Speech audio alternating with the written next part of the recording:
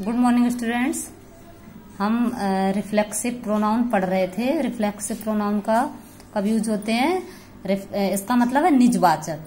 तो reflexive pronoun का use जब किया जाता है, जब सेंटेंस में ऑब्जेक्ट एक सब्जेक्ट के समान हो। मैंने आपको बताया भी था इसके इसमें देखिए, यहाँ पर पर्सनल प्रोनाउन है।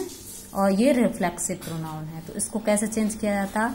आई माई सेल्फ में। यू सिंगुलर है तो योर सेल्फ यू प्लूरल है तो yourselves he himself she herself it itself we ourselves और दे दैम सेल्व्स तो ये क्या है? इस तरीके से हम इसको एक्सरसाइज करेंगे ए वाली ये रिफ्लेक्सिव प्रोनाउन की, इसमें देखिए।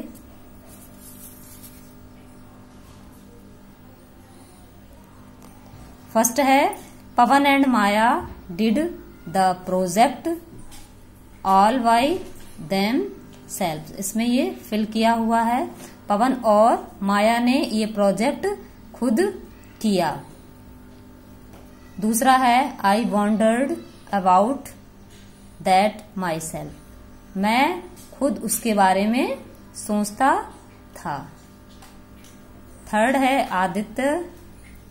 Hurt himself playing hockey. Aditya ने खुद हॉकी खेलते हुए चोट लगाई। फोर नंबर है the calculator will turn itself off when it is not being used. Calculator का यूज़ ना होने पर वह स्वयं बंद हो जाता है। तो कैलकुलेटर क्या है? न्यूटर जेंडर है। तो यहाँ पर इट सेल्फ यूज़ हुआ है। फोर फाइव नंबर है। Make sure you clean our yourself up before the party start start तो यहाँ पे क्या है? मेक श्योर श्योर होइए मतलब सुनिश्चित करें कि आप पार्टी शुरू होने से पहले खुद को, खुद मतलब क्लीन हो जाएँगे, साफ़ हो जाएँगे खुद। Naina dusted herself off before she got back on the horse घोड़े से, घोड़े पर वापस आने से पहले नैना ने, नैना खुद धूल से डस्ट डस्ट से भर गई मतलब डस्ट उसके ऊपर लग गई। You and I have to ask ourselves that question तुम्हें और मुझे खुद से ये क्वेश्चन पूछना होगा, करना होगा या? तो क्या है यहाँ पर ये प्लूरल है? आई यू एंड आई तो यहाँ पर क्या है? अवर सेल्फ्स हो गया do you boys things think you can handle this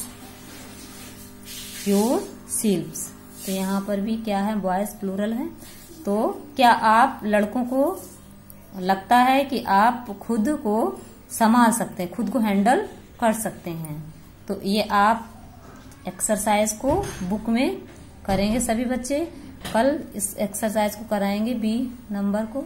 आप इसको फिल करिए आज बुक में। और इसको कॉपी पर भी करेंगे सभी बच्चे। Thank you everyone